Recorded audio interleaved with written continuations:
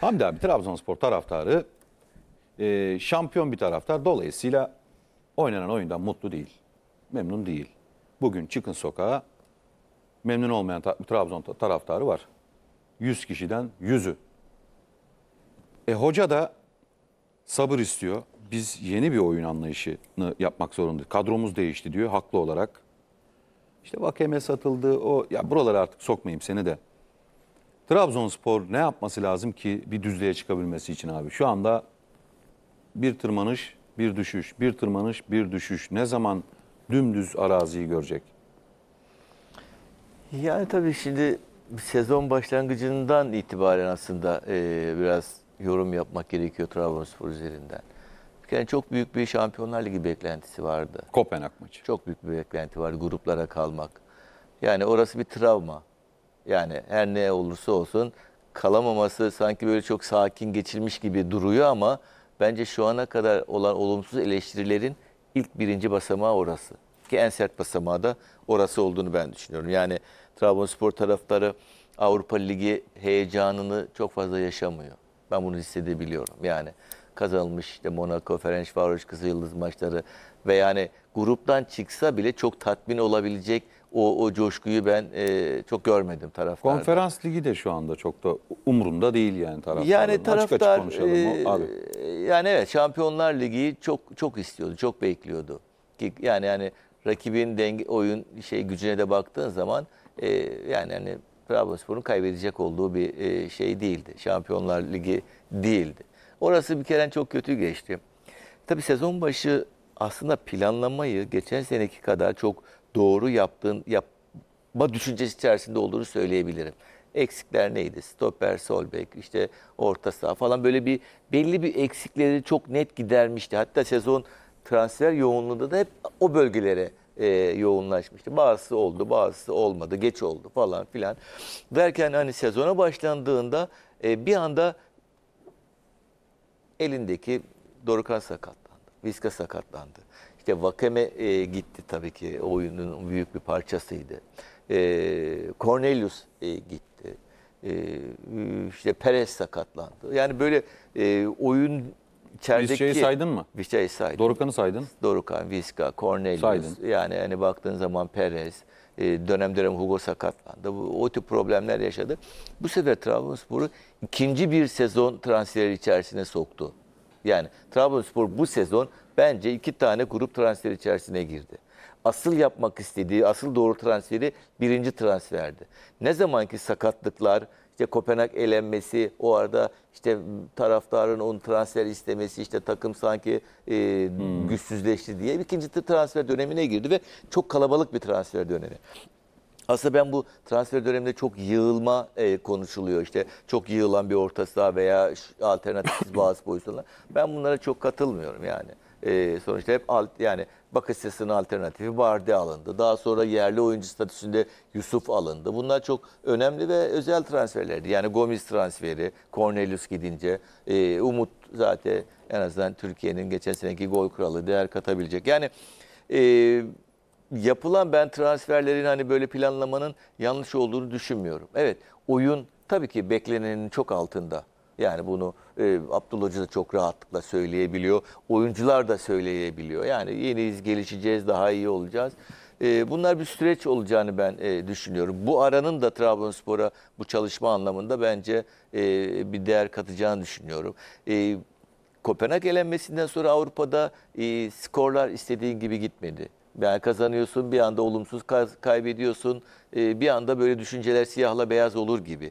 Ligde Adana Demirspor Antalya maçları bence e, bu işin en e, taraftarı bu düşünceye sokan e, bence düşünce yoğunluğu içerisindeydi. E, elindeki kadro güçlü bir kadro.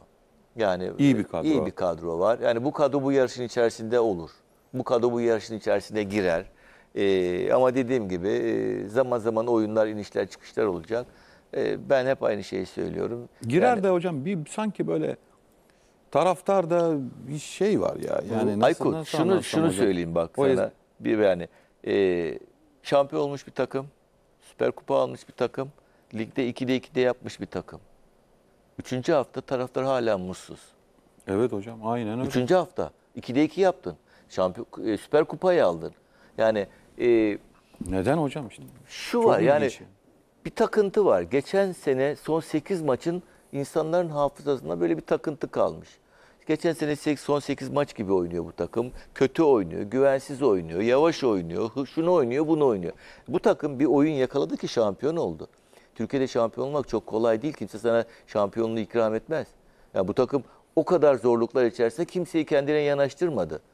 Bekle bu takım bu inişler çıkışlar olsun. Her şampiyonluğun sonundaki bir sene sonrasındaki takımlar son yıllara baktığımızda hep bir e, sendrom yaşarlar.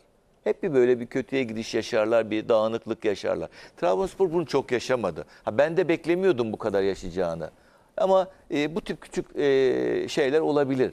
E, o yüzden hani ben bu döneme kadar gelen periyotta çok olumsuzluklar olduğunu düşünmüyorum. Ee, ama hani ön şimdi Trabzonspor'un geçen seneki en önemli oyunu güçlü bir savunma oyunu oynuyordu.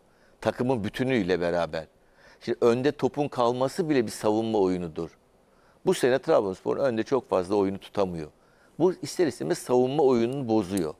E tabii ki arkadaki oyuncular çok değişti. Yani Larsen, e, Eren geldi. Yani orada da bir yeni bir oyuncu grubu var. Gibamin. Bunlar çok değerli bir oyuncular. E, ama ben hani dediğim gibi yani skor istikrarı e, oyun istikrarını da getireceğini ben düşünüyorum. Taraftarın biraz ona ihtiyacı var.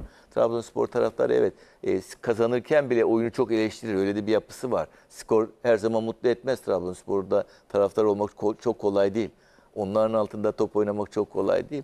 O yüzden bunların ben e, güçleneceğini, toparlanacağını ben düşünüyorum. Hoca diyor ki deprem Allah korusun da benzetme olmasın da deprem Kopenhag maçı. Arkçıları UEFA Avrupa Ligi işte Monaco maçı. Bir Arada sırada içerideki ligler. içerideki lig maçları.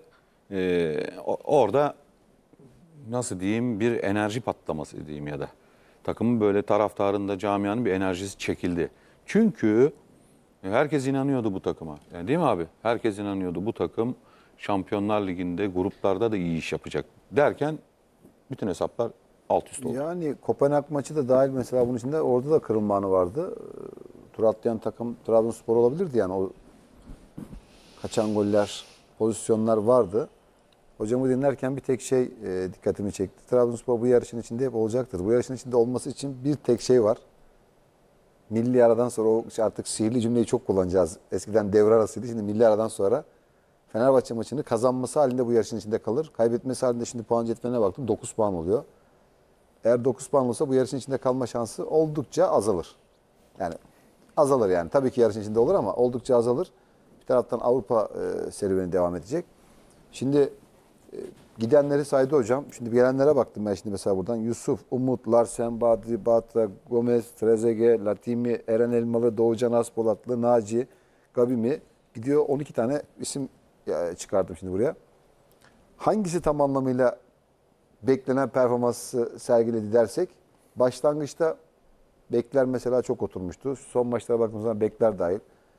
Ee, Gomez bir türlü Maxi Gomez patla- yapamadı yani. Yapamadı. Yani Gomez'lik oyun daha ortaya çıkmadığını ben düşünüyorum. Ben bunu Yüzde yüz tek haklısın. Gomez'le Yüzde yüz bağlantılı haklısın olduğunu hocam ama düşünmüyorum. 14. hafta Avrupa maçları da var bunun içinde. Ee, biraz da tabii ki geç gelmesini de bağlayalım buna. Geç gelmesi de tabii ki transfer şeyde kamp da görmesi lazımdı. Sıkı bir kamp da görmesi lazımdı. Diğer taraftan Trezeguet mesela Vakeme ile hep kıyaslandı. Kıyaslanmamalı. Kıyaslanmasını yanlış bulduğumu defalarca e, anlattım. Ama birkaç maç dışında o da bir türlü o beklenen enerjiyi, beklenen patlamayı veremedi. Takıma yansıtamadı. Ama Bugün- belki de Trezeguet'in oyunu bu yani. Biz mi Trezeguet'i başka anlattık? Veya biz Trezeguet'in bölüm bölüm mü gördük? Yani böyle bir takımlardaki oyununu çok fazla görmedik. Ya şimdi yanına Kasımpaşa oyununu gördük. İşte Aston Villa'da dönem dönem oyunlarını gördük. Yani böyle bir takımın bütünlüğündeki oyunun önemli figürünü neler yapabileceğini görmedik. Bunları daha yeni gördük. Kasımpaşa'da evet, orada mesela e, çok daha farklı oynuyorlar. Yani sonra başka takımlara geldiğiniz zaman e, aynı etkiyi veremiyorsunuz. Özellikle büyük takımlara geldiğiniz zaman. Tabii yerine geldiğiniz yani isim Vakeme. Şimdi bakıyorum Vakeme Trabzonspor'dan öyle bir gitti ki Trabzonspor her türlü teklif yaptı. Sonra Trabzonspor'un verdiği teklifi yapmadığı zaman ben çok büyük sitem etmiştim. Bir gün dönüp dönüp dolaşıp gelirsin diye. Şu anda ismi geçiyor Trabzonspor için. Bilmiyorum. Yok zannetmiyorum. ben. Yazılıp Yok, çiziliyor yok, o zaman yok. diyelim. Yani Ben devre arası için. Yani hani Yani Trabzonspor tekrar inşallah öyle geri dönüş inşallah öyle bir şey olmaz. O zaman ben çünkü daha o önce. Ya o, o, o her şeyin heyecanını kaybedilmiş bir e, transfer olur. Heyecanını kaybetmiş diyor hocam. Bir defa Trabzonspor sana her şeyi yaptı. Trabzonspor'un efsanesi olmak kolay bir şey değil. Bir tanesi karşımda oturuyor burada. Efsane. Hani öyle bir şey yakalamışsın ki artık o 3 senede herkese nasip olmayan o Trabzonspor'un Çok güzel günler geçirdi. Çok katkıda bulundu. Onu söylüyorum. Son yıllarda mesela kimi hatırlıyoruz? Bizim Yattara'yı hatırlarım yabancı Aa, bir olarak. dakika. A milli kadın voleybol takım baş antrenörü Giovanni Guidetti ile yollar ayrılmış. Onu İlginç. da Yani beklenen bir ayrılık mı? Beklenen bir ayrılık değil bana göre.